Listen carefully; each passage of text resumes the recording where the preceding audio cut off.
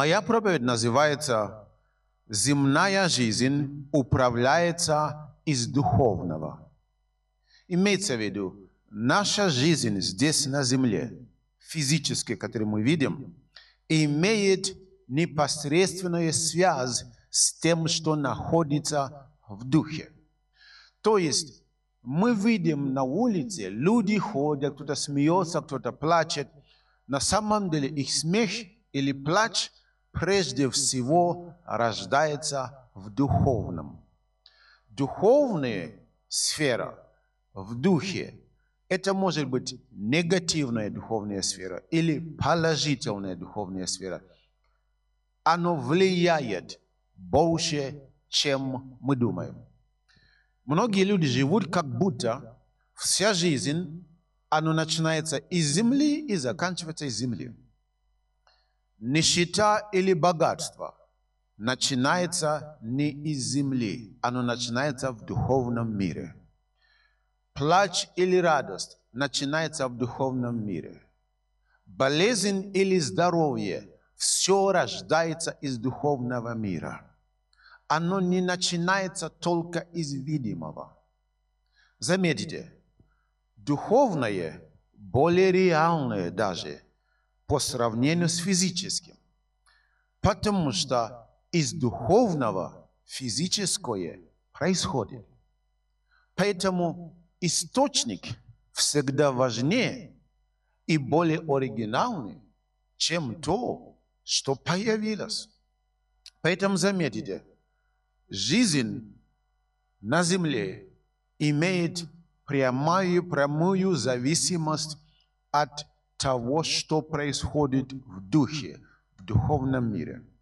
Притом, напоминаю, когда я говорю в духовном мире, я не только имею в виду в Духе, в Духе Святом. В духовном мире может быть в духовном мире с Божьей стороны, а бывает в духовном мире с дьявольской стороны. И то, и другое – это духовный мир. И оно в зависимости от того, к какому из них ты подключен, в любом случае, твоя жизнь зависит от этого. Библия говорит, книга притчи, 20 глава, 27 стих. «Светильник Господен, Дух человека, испытывающий все глубины сердца».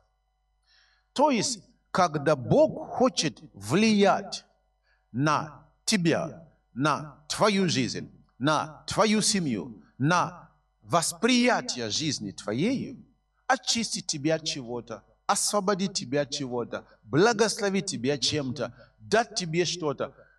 Он начинает все из твоего духа. Потому что Господь работает исключительно через духа человека. Книга Экклезиаст 12.7. «И возвратится прах в землю, чем он и был».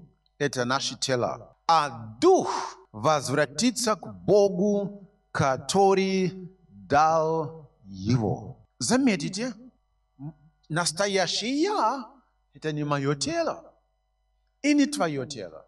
Твое тело – это костюм, создан из глины, который Бог создал специально, чтобы твой дух имел где обитать. Так Павел его называет дом или хижина. Когда он называет его дом, это когда все красиво, а когда она начинает умереть, он называет хижина, которая разлагается уже постоянно. Заметьте, не живи сознательно только к твоему телу, потому что тело не имеет вечности, поэтому его всегда тянет туда, куда твой дух – куда твой дух будет весьма вредно. Многие люди попадают в аду, в ад, не из-за духа, а из-за тела. Живи со сознанием или более сознательно к духу, к духовному, и тогда аппетит тела не приведут тебя в ад обидно много лет ходить в церковь, петь, прыгать со всеми в церкви и в конце быть в аду. только потому, что тело твое имело определенные аппетиты. И сказать нету им, у тебя не было возможности, силы, причина. Ты жил больше осознанно к телу, нежели к духу. Заметите, тело возвратится в прах, откуда он из него состоит. Он его. А дух возвратится к Богу, который его дал. То есть дух твой Божий. Он его. Это он его отдал. Заметите, человек, он дух. Бог есть дух. И ты успешен, когда твой дух черпает от Бога, который тоже есть дух. Твое соединение с Богом, общение с Богом, жизнь с Богом сделает, чтобы твоя физическая жизнь, то есть жизнь на земле, была успешна. Почему жизнь духовная? А потому что человек есть дух. И не живи только ради плоти. Живи ради аппетитов духа. А у духа есть аппетиты. Какие? Общение с Богом, доброта, проявлять Царство Божие, проявлять характер Божий, проявлять то, что Божие. Это то, к чему его тянет к этому. Наше тело к чему тянется? К одному дереву, которое запрещенное. К тем две тысячи, которые свободно доступны, тело его туда не тянет. А вот к одному, который посреди рая, туда тело тянет. Послание к евреям, 11 глава, 1 стих. Там написано так. Ибо вера же есть. Слушайте внимательно. Уверенность в невидимом и осуществление ожидаемого. Сразу все, пазл как, как-то четко. Первое, вера – это неуверенность в видимом, потому что оно временное, а уверенность в то невидимом, духовном, которое вечное. Поэтому получается, когда Бог хотел создать небо и землю, ничего не было. Из невидимого Он создал землю, из невидимого Он создал Вселенную, из духовного Он создал все. Если человек сумеет влиять на духовное, то рано или поздно то, что он ожидает, появится в физической его жизни. Заметьте, все, что в жизни у нас есть, все, что влияет на нас, все, что может быть где-то проявляться в нас, оно начинается с духовного. Пастор Генри, да, я обижен. Так, стоп, стоп, стоп. Я понимаю, что ты обижен. Тебя обидели. Да, да, да, да. Но давайте посмотрим. Откуда появилась обида? Оно началось не из земного, оно началось с духовного мира. Заметите, есть такой дух, который называется дух обиды. И получается, к тебе подошел человек, что-то наговорил, и у тебя есть выбор. Так, простить, улыбаться дальше, радоваться дальше. А этот дух обиды приходит и говорит, так с тобой не должны. Как это? И большинство людей глотает приманку сатаны, который предлагает дух обиды. Смотрите, как написано Евангелие от Луки, 13 глава, с 10 стиха по 17. Я не буду все читать, но частично. В одной синагоге учил он в субботу. Это Иисус учил. И там была женщина, 18 лет имевшая дух немощи. Она была скорчена и не могла выпрямиться. Если бы мы спросили у врача, что с этой женщиной, врач не говорил бы, у него, у нее есть дух немощи. Нет. Врач бы сказал, она скорчена и не может выпрямиться. Это позвоночник – или это передано от его, ее родителей, или это подняла она тяжелое, неправильно, не стоял так, как должно, врач имел бы много объяснений, почему она скорчена и не может выпрямиться. И врач был бы прав. Почему? Потому что врач видит вот это влияние на физическом уровне. И оно имеет полное научное объяснение. Но вот это с полным, с полным научным объяснением явления на самом деле же включил его дух немощи. Вот этот рак, это видимое явление. Ага, эта клетка. Умножилась неправильно, и второе умножилось, и третье, и четвертое и вышли из неконтроля, и теперь они умножают по всему телу, и потом они распространяются по всему телу, это метастазия называется. И врачи это могут объяснять, с какого момента, либо у тебя стресс много, либо там ты не то ела, или ел, и ты не то делал, много чего, курил много лет. Это все имеет объяснение, научное. Но включатель, это был дух. И получается, Иисус, когда посмотрел на эту женщину, он сразу распознавал явление из духовного и из физического. И он говорит, эта женщина, там была женщина, 11 стих, она была 18 лет, имеющая духа немощи, которая была 18 лет. Иисус исцелил женщину. Женщина выпрямилась. Да, врач мог бы сказать, да, позвоночник теперь все нормально. Тут диск было нарушено, а сейчас почему-то на месте. А тут была грыжа, а сейчас почему-то нет. А тут была протрузия, а сейчас почему-то нет. А, а вот это и это, это было, вообще не, не было эти диски. А сейчас почему-то есть. Он бы констатировал факт, что все на месте. Но как это произошло, он бы не объяснял. Потому что оно имеет свое начало в духе. Смотрите, как Иисус объяснил. 16 стих. Сью же дочь Аврааму, которую связал сатана вот уже 18 лет, не надлежало ли освободить от усих в день субботний? Оказывается, когда эта женщина была скована, не выпрямилась, это сатана связал ее. Если бы мы ее спрашивали, ты связан, она бы сказала, нет. Я просто не могу выпрямиться. Просто мое тело. На самом деле в духе были веревки. Дьявольские веревки, которые связали ее. Она не ощущала как таково веревки, она только ощущала, что она не могла делать то, что должна. Как я могу знать, что я связан чем-то?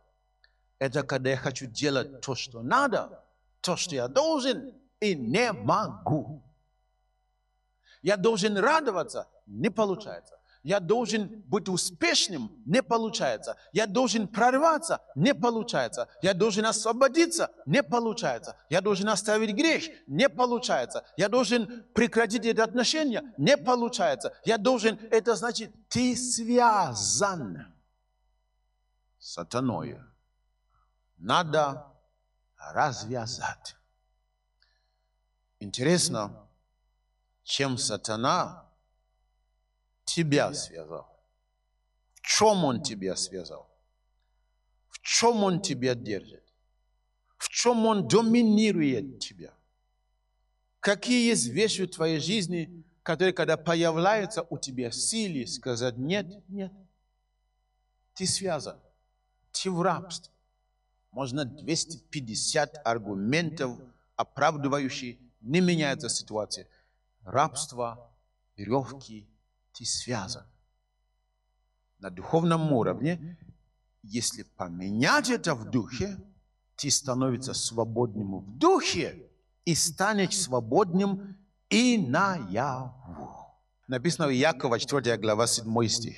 Итак, покоритесь Богу, противостаньте дьяволу, и он убежит от вас. Оказывается, когда есть дьявольские действия из духовного мира против нас, мы с вами, как Божьи дети, имеем право стать. Что такое противостать? Это значит, я бегу от дьявола, да? С большой скоростью. Потом думаю, чего я бегу? А почему я от дьявола убегаю? Какое он имеет право гнаться за мной? Нет, начинай уже меньше и потом остановиться. Может, не сразу получится остановиться, но хотя бы уменьшить скорость. Потом стоп. И дьявол в шоке. Чего он остановился? И когда ты останавливаешься, дьявол начинает э, на тебя кричать, кричать. И ты поверни скажи, нет, дьявол. А, я подчинен Богу. Написано, покорись Богу, отдай себя Богу, живи по Божьему, будь послушание Богу и получишь силу, власть. Сказать дьяволу, нет, и он убежит.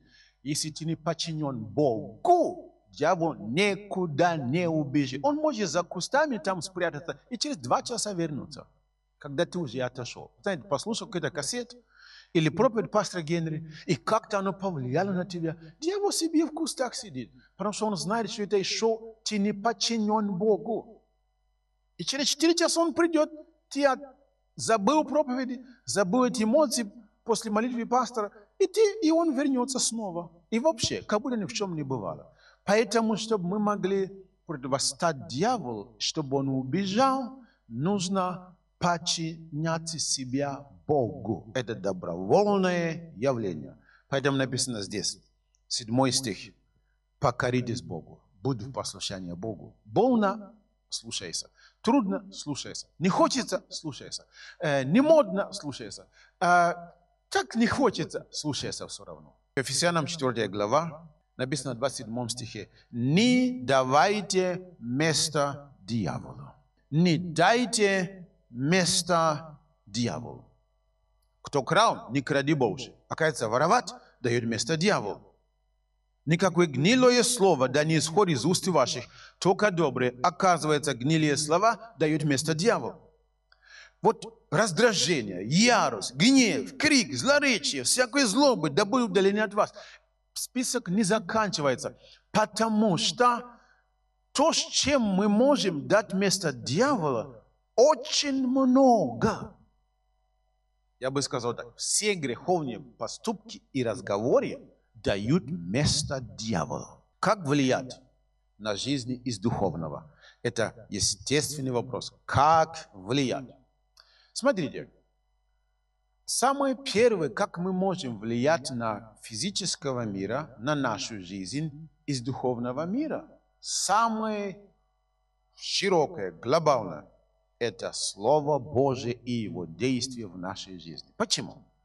Вот я прочту вам Евангелие от Иоанна, первая глава, первый стих и третий. В начале было Слово, и Слово было у Бога, и Слово было Богу. Все через Него начало быть, и без Него ничто не начало быть, что начало быть. Как было создано все видимое из невидимого? Через Слово. То есть все начало быть через Слово. То есть, если Слово создал, Слово может корректировать, Слово может защитить, Слово может улучшить, Слово может умножить.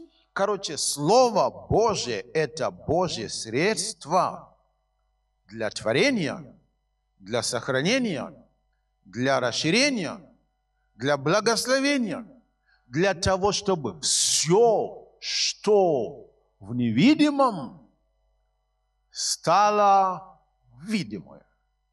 Канал, через который все течет из невидимого, из невидимого к нам видимое, называется Слово Божие, Божье обетование и принципы духовные. Псалом 1, 3 стих читаем. Он будет как дерево, посаженное при потоках вод который приносит плод свой во время свое, лист которого не вянет, во всем, что он делает, успеет. Заметите, этот человек успешный. И все это начинается с духовного. Не говорится, у него два образования, три образования, хотя ничего плохого в образовании нет. Не говорится, что у него знакомство в Министерстве Верховной Рады. Все это тоже хорошо. Там не говорится, у него папа был миллиардер. Это тоже хорошо. Но здесь причина, почему он как дерево, посаженное при потоках вод, которое приносит плод своего время свое, это было потому, что выше в законе Божьей воля Его. И о законе Его размышляет день и ночь. Вы меня не спросите, пожалуйста, как воля Его подчинил Слову Божьему, как размышлять над Словом Божьим день и ночь может приносить такое богатство и успех. Не спрашивайте у меня. Одно я знаю. Если ты так делаешь, в духовном мире корректировка делается, и в твою жизнь начинаются благословения. Только потому, что ты размышляешь над Словом Божьим. Но не только. Первое, что он делает или не делает, он не ходит на некоторые советы. Он не слушает некоторые слова. Он не слушает некоторые высказывания, которые греховнее или приводят к греху. Он все это избегает. Поэтому дело не только в том, что он делает, а дело также в том, что он не делает. Многие люди делают правильно, но столько же делают неправильно. И в результате у них ноль. То есть они провозглашали обетование Божие правильно, они пришли на собрание правильно, дали десятину правильно, но они точно так же сидят, общаются с тем, что не надо. У них нет такого стержень непорочности внутри. Его нет. И в результате не видно их пребывания в Боге.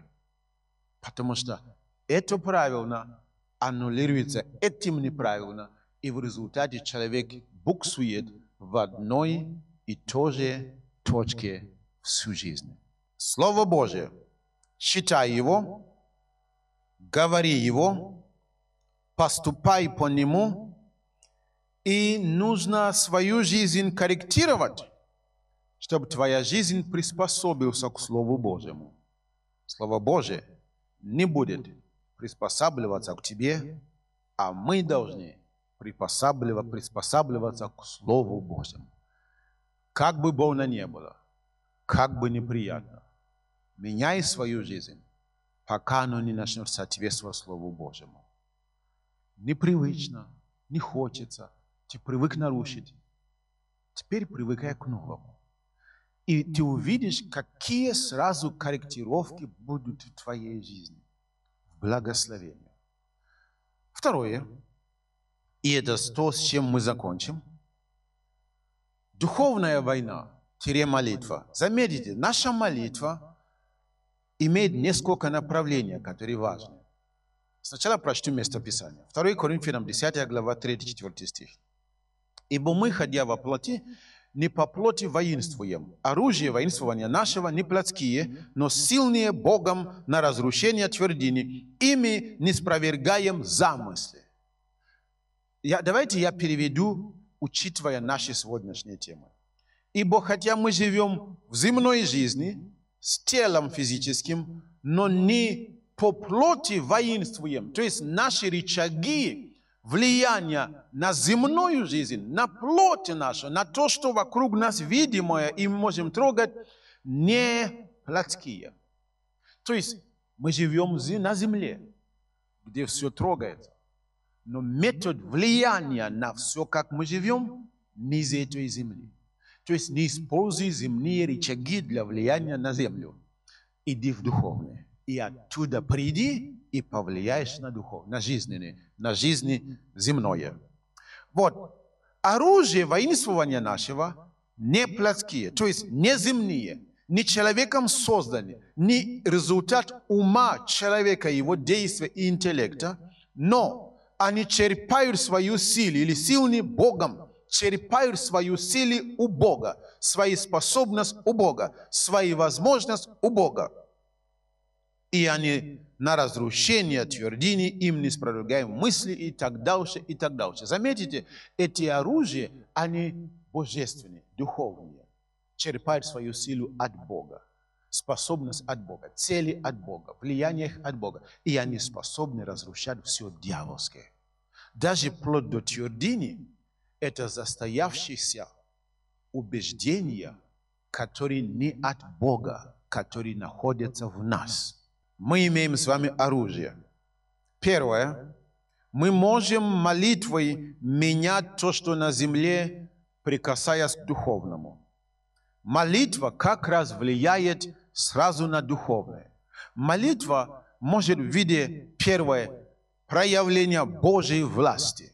Когда, даже это не совсем молитвы, я говорю, как Иисус обратился к женщине, которая скорчена, Он сказал, ты освобождаешься от недуга твоего. Он не молился Отцу, Он обратился к женщине, и в духе сатана, который связал его много, 18 лет, сбежал. И она развязалась. То есть мы можем то же самое обращаться к тем веревкам, к тем ситуациям, проблемам, которые в жизни пришли в духе сказать и перемены. Второе. Мы можем просить у Бога. Библия говорит, просите, и дано будет вам. Я могу прийти к Богу, просить с верою, и молитва вере Бог отвечает.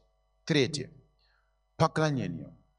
Когда я поклоняюсь, или ходатайственная молитва, присутствие Божье приходит, атмосфера Божьего присутствия, атмосфера неба. А это духовная атмосфера неба, когда приходит здесь на земле, то оно оставляет на земле благословение для земли. Вы понимаете? Если ты болел, присутствие Божье, которое приходит в поклонение, оставляет там, где была болезнь, оно приносит с собой исцеление, здоровье, процветание, перемена. Хочет менять что-то на земле, меняй в духе. Хочешь менять свои ситуации, обстоятельства, меняй в твоем духе внутри тебя, твои решения, настрои и ожидания. Все остальное изменится, но все начинается из духовного. Означает, что нет вопроса в этой жизни, которые мы не можем решать, потому что из духовного мы можем менять все. Христианская церковь Победа приглашает всех желающих на богослужения, которые проходят в воскресенье в 10 и в 14 часов, а также в среду в 19 часов. Ожидаем вас по адресу Киев, улица Малинская, 16, недалеко от станции метро Академгородок. Пишите нам по адресу 01 001, город Киев, абонентский ящик 53. Если вы нуждаетесь в молитвенной поддержке, звоните на линию жизни плюс 380 44 501 69 36.